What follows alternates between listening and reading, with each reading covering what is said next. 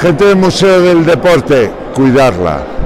O sea, no sabéis lo que ha costado tener la primera. Luego ya han venido en cascada, pero esta es la más importante. ¿Por qué? Porque lo primero mola.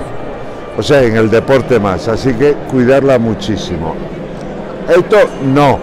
¿Por qué? Porque se mella. A cuidarla. Os la cedo. Ahí está.